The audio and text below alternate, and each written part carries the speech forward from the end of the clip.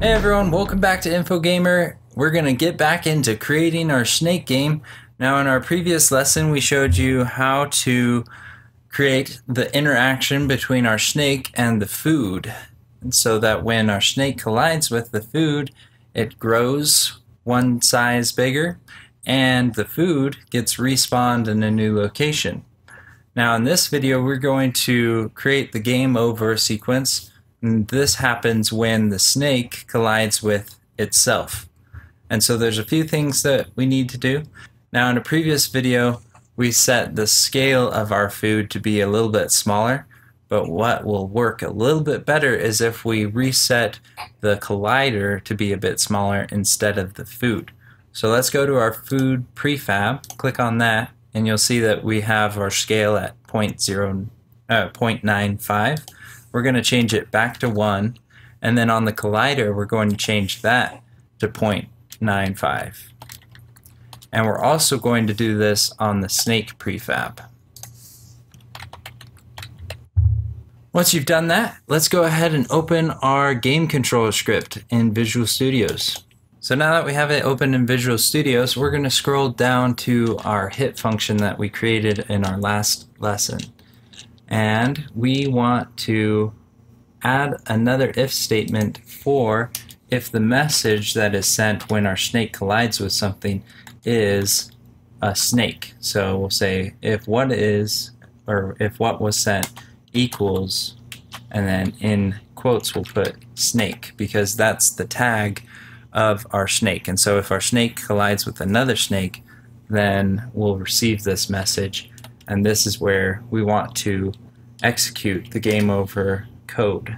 So the first thing that we need to do inside this if statement to execute our game over is to cancel our invoke repeating.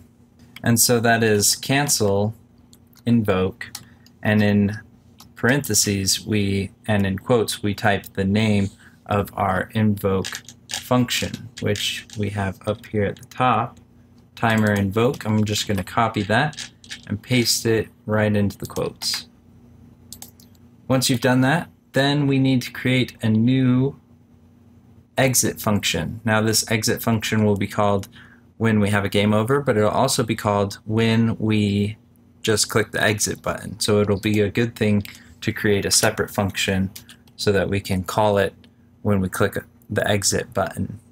So this is going to be a public function so that we can later apply it to a UI button and it'll be a void and we'll just call it exit. In parentheses we don't have any parameters and inside the body we are going to load a new scene.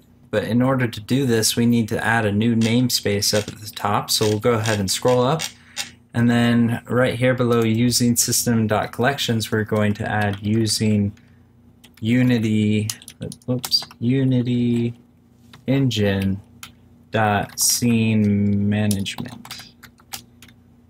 Once you have that, we'll scroll back down to our exit function and we'll type scene manager dot load scene and then we'll give it a zero because zero is going to be the index for our main menu and one whoops one is going to be the index for our game scene. Now the last thing that we need to do is call this exit function in our hit function inside the if statement for when we run into a snake. So after our cancel invoke, we're going to type exit and then parentheses and a semicolon. Now let's go ahead and save this and we'll test it out, see how it works. So before we test this, we need to create our new main menu and assign the order of our scenes in the build settings. So to do this, let's first go ahead and save our scene. And then let's create a new scene. Actually, I'm just going to resave this scene as our new main menu scene. And then in a later video, we'll show you how to change it so that it looks like a main menu. So let's go to scenes and we'll create a main menu, main menu. So let's go ahead and load our main menu scene and we're going to make one slight change to it and so that you know that it is our main menu. We're going to select our main menu, then we're going to delete our snake from the scene and that way there won't be a snake. And let's let's create one text element just so that we know it's the main menu. So we'll create a text, we'll call it the title, and we'll type snake into the text field, snake, and let's anchor it to all sides and then change the transforms to zero. And we'll change the color to white so that it's more visible. And let's hit best fit so it's a little bit bigger. So there we have snake up at the top left corner. Later when we create the main menu we'll show you how to make it pretty. Um, but right now this is just to show you that it definitely loads a new scene. So let's go back to our game scene and we'll hit save for the main menu so now the last thing that we need to do is assign these scenes into our build settings. So we'll go File, Build Settings.